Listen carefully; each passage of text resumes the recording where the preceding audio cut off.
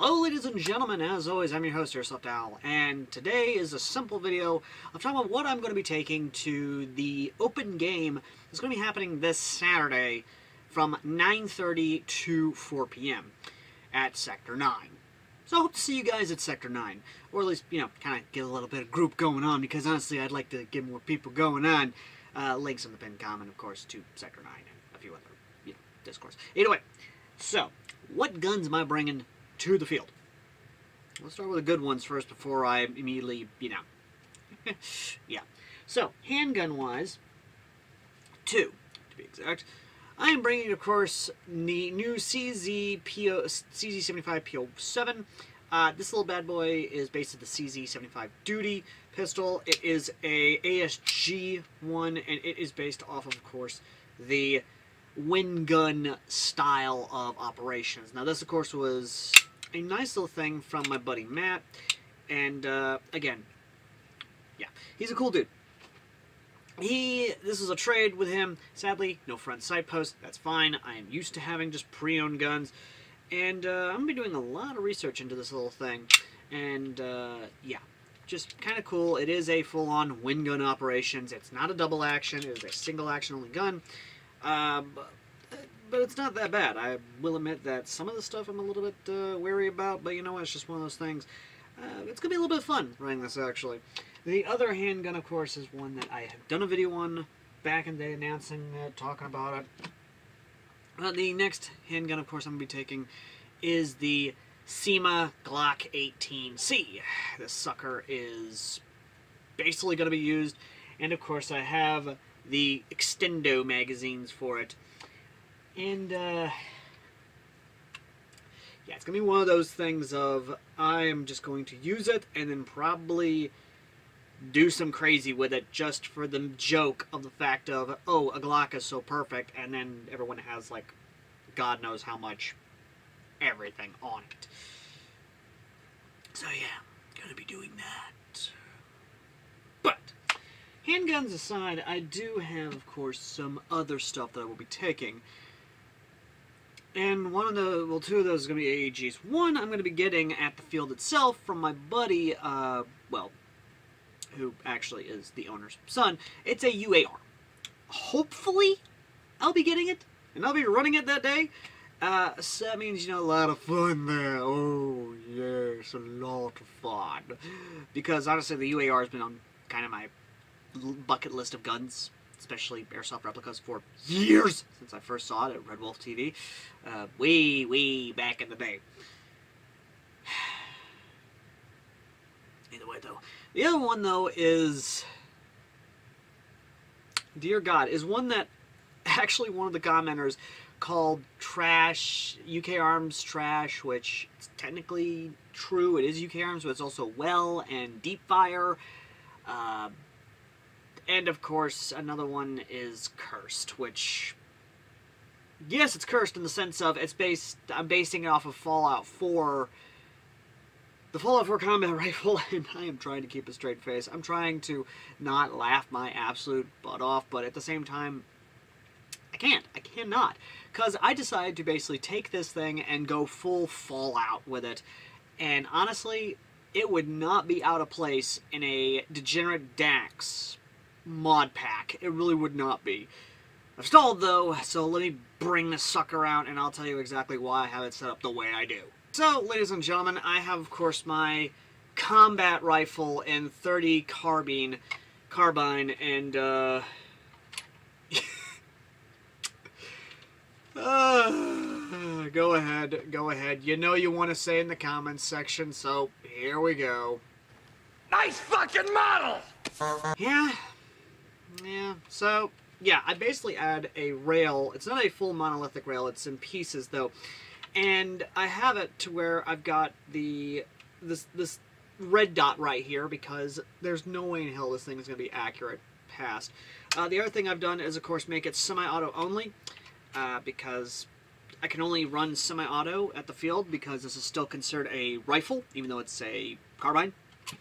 Which, you know what, I eliminated the issue of it being uh, semi instead of it basically going full auto. However, depending on the lipo you throw in the sucker, it'll still do full auto. So it's one of those lovely things of I've got to check, I've got to be careful with the power output of what I put in this, which I have found with a 7.4 volt lipo, it will actually work fairly well. Uh, will not shoot as fast, but it doesn't go full auto. So I may run just the 7.4 volt lipo in this sucker and be happy with that because honestly, this is one of those guns of I'm just running this for fun and legitimately I do have fun with this thing and that is the weird part of it. Everyone who's ever held this thing has laughed. And yes, you heard right, laughed their ever loving butts off and they just yeah. The other thing, ladies and gentlemen, is that outside of the rail here, I found out that there was two holes in the barrel, the inner barrel itself. So I took some Teflon tape and just wrapped around there, and uh, that should hopefully alleviate the situation of that. But the other thing, though, ladies and gentlemen, is that I will basically now give you the full run cam experience of being able to see exactly where the shots are going and how far this is going on 0.2 BBs. Because let me tell you now, this thing actually does lob them pretty far. Like, legitimately, this is a very fun gun, very light gun. The guys at the field have actually said, have had a chuckle, a laugh, a smile, a giggle. This is basically a giggle factor gun that you buy this to either do like I'm doing and just turn it into a sleeper build because this does technically have this weird pseudo like V7, basically an M14 gearbox in here and can be upgraded even. And it is it, it, it is so combat rifle ish and I absolutely just love it and I am yeah, this is definitely going to be something I'm going to be rocking on my Enclave and my other Fallout loadouts in the future because I just love this thing. Even if the, the th even if the motor finally freaking kicks it, that's fine. I can. I've, I've seen the guides. I've seen what people have done to this thing. I will fucking upgrade this sucker and just turn it into the ultimate little sleeper gun and and just have it in my wasteland loadouts basically. I'll be getting more magazines for it because one of the magazines sadly broke, so that leaves me with five magazines, which during a game day, I don't really run out of ammo. I don't really run out of magazines all that much. I'll, I'll still have two extra magazines, but you know, more, more, more magazines will definitely work in the future. But yeah, I'm rambling. I'm just giggling, gushing a little bit about this thing, which moving on. So next thing I'm bringing is going to take shotgun shells, and you're assuming I'm taking either, you know, some some form of shotgun. Well, you're not wrong. In reality, I'm taking this thing with me to basically get some gameplay of it and kind of get a sense of it and just... Yeah. I'm just taking this to the field just so I can basically say, yeah, no, I ran this thing. I now have the gameplay for the review in October. And I am just, yeah.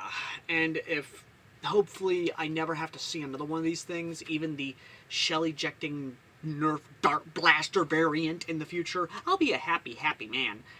But, either way,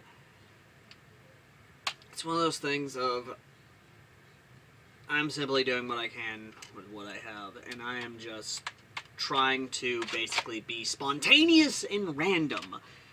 And spontaneous and randomness involves me bringing this to the field. And who knows, one day I may bring this little M14 to the field as well, just for reasons. Again, reasons. I, I don't need a reason to basically be spontaneous and random. Just no reasons whatsoever. I just love being random. Anyway, that's about it, ladies and gentlemen. Those are the guns I'll be bringing and are getting at the field. And believe me when I say that, I am actually looking forward to the UAR more than anything. And definitely not going to lose a wink of sleep if I don't have this running at the field and I don't run this at the field and I don't need to run this at the field. I'll be actually pretty damn happy if I don't gotta run it at the damn field. But, ladies and gentlemen, as always, I'm Ines Hotel, and I shall see you lovely, lovely people in the next video, and hopefully at the field. Till next time. And legitimately, outside of this, which, eh, I have high hopes for this. Just, just being a giggle factor gun. Honestly, like I, I cannot express how much this is gonna make me giggle. And I don't care how many dislikes I get on the video when I showed it, when I showed, when I did showed off the rail for it. I don't care. I, it makes me smile and it makes me giggle, and that's all that matters to me because it's just. It's just so weird and I love it. It's so Fallout. I love it.